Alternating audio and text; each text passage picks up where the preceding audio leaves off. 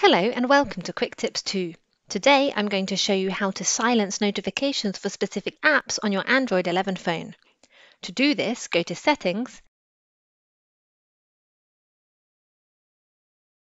then tap on Apps and Notifications.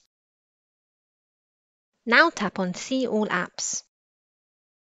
Select the app you want to disable the notifications on, let's say Messenger,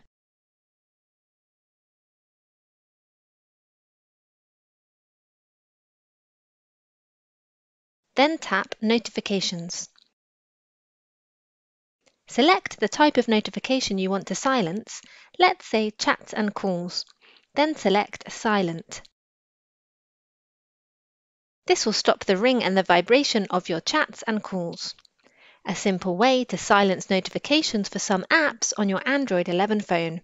With QuickTipsTo, knowledge has no limits.